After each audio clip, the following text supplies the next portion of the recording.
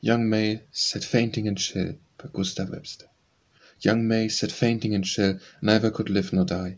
She looked and hated the sky, yet knew not what was her ill. A well a day for the lonely May.